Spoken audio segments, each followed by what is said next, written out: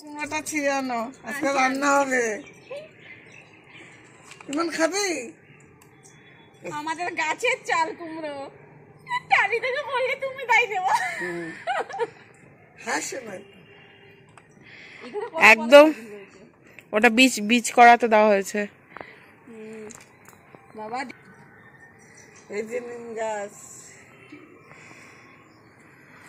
ঘরের ভেতর দিয়ে বলে চাল কুমড়ো। আজকে এইটা দিয়েই রান্না হবে।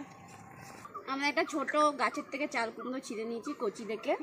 এইটা আমাদের আজকে ভাজা ভাজা হবে সর্ষে আর পোস্ত দিয়ে।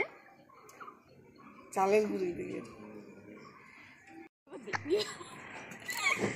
হাই রে। গেছো গেছো বুড়ি আমি তো উঠতেই পারতাম না না খাইলে না করতাম চাল কুমড়ো। চলো। হয়েছে হয়েছে।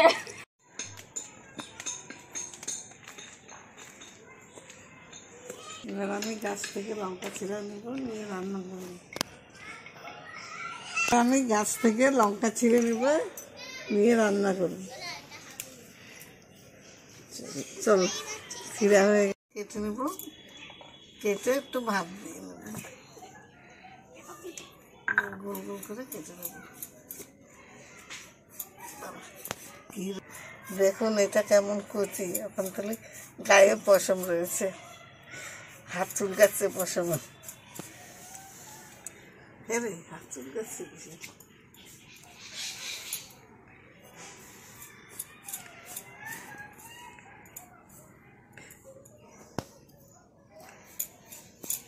আমি এবার এটাকে গোল করে কেটে নেব।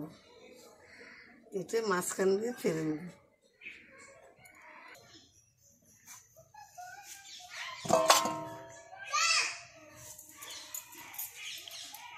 এভাবে সব কয়টা গোল করে মাঝখান দিয়ে চিড়ে কেটে নেব।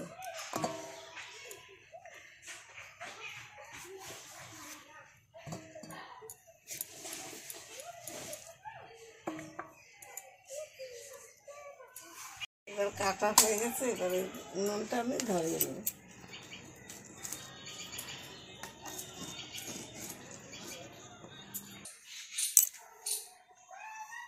এবার আমি নুনটা ধরিয়ে দেব।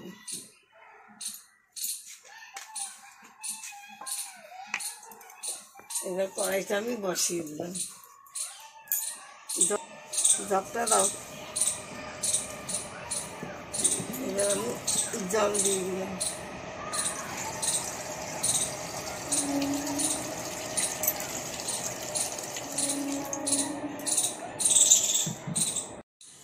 পরিমাণ মতো গরুটাকে ধুয়ে আমি সিদ্ধ করে একটু পাঁচ মিনিটের মতো।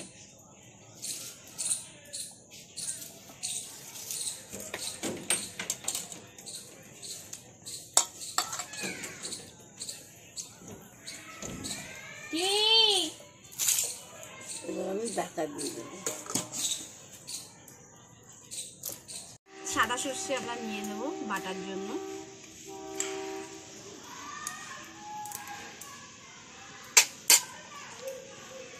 পোস্ত। সব লাগবে। পোস্ত নিয়ে নিলাম বাটার জন্য। আমাদের একটু সর্ষে লাগবে। সর্ষে পুরোটাই নিয়ে নিলাম।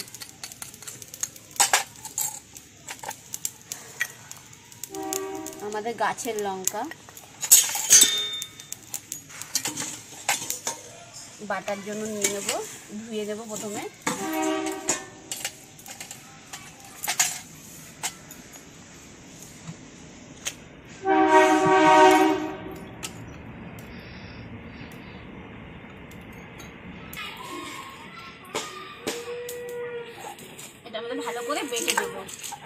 নুন দিয়ে নাও।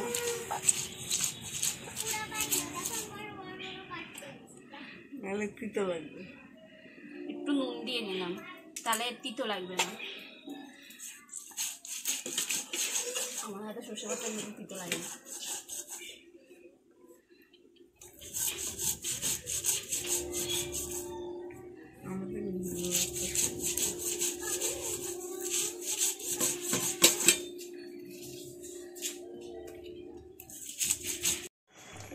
কুমড়োটা সিদ্ধ হয়ে গেছে, এবার আমি নামিয়ে দেবো। বেশি সিদ্ধ করলে এটা ভালো হয় না ঠিক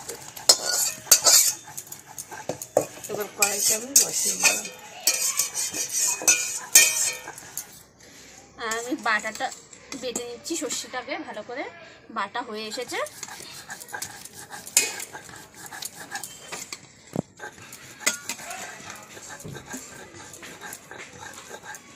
আমাদের সর্ষে বাটা হয়ে গেছে।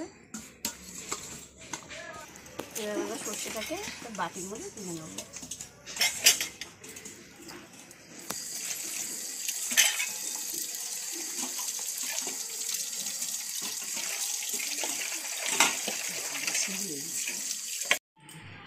চালটা আমরা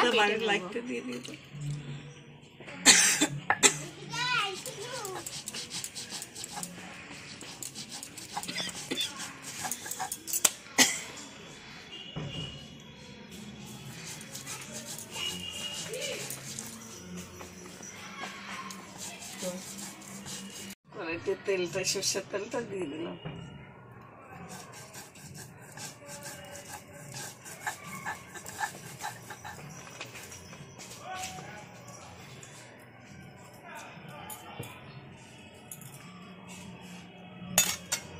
তেলটা গরম হয়ে গেলে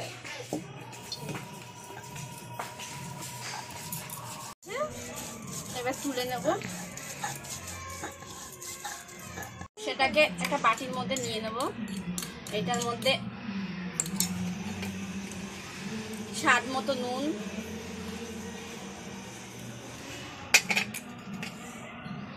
স্বাদ মতো চিনি।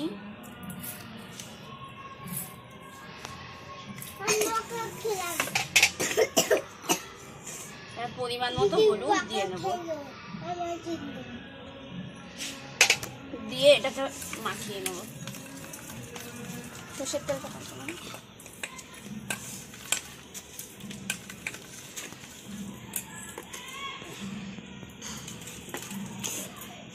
দেখো আর তেল দিব?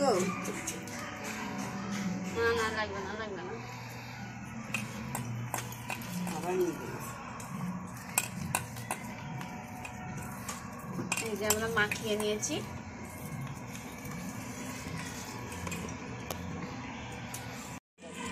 চাল বাটাটার মধ্যে আমরা একটুখানি নুন।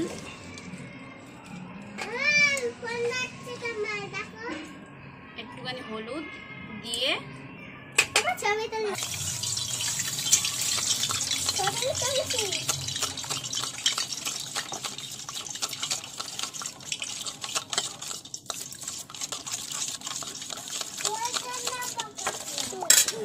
একদিন বলেছি ফোন ধরবি না? একটা কথা চোদ্দ বার বলতে হয় কেন যা। ওখানে যা।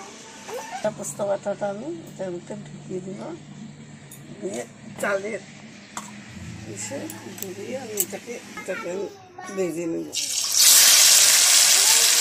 এমন করে সব কটা ভেজে নেব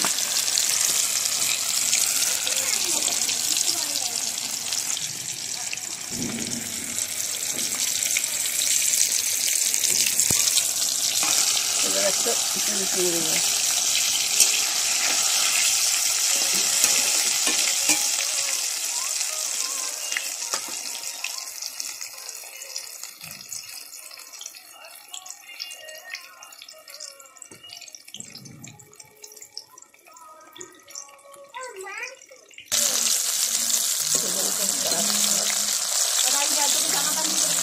এটাকে একটু ফুটো করে দিলাম তাহলে তেলটা ভালো ভাববে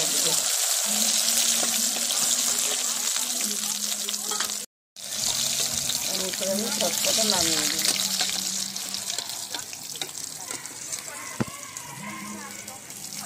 নামিয়ে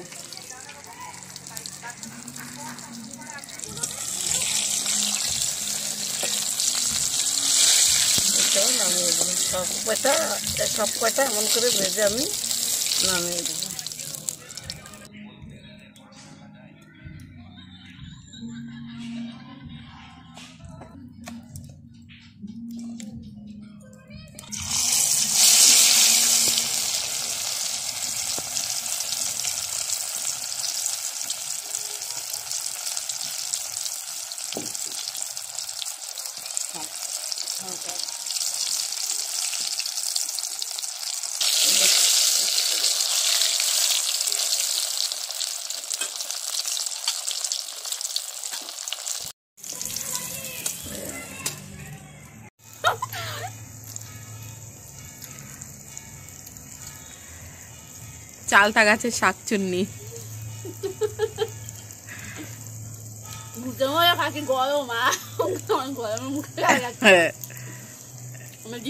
গেল।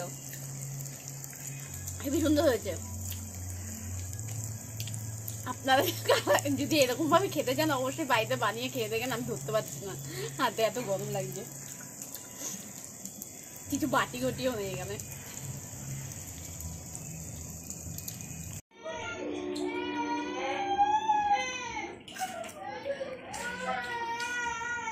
আপনারা যদি এই রেসিপিটা ভালো লেগে থাকে, তাহলে বাড়িতে অবশ্যই একবার ট্রাই করে দেখবেন।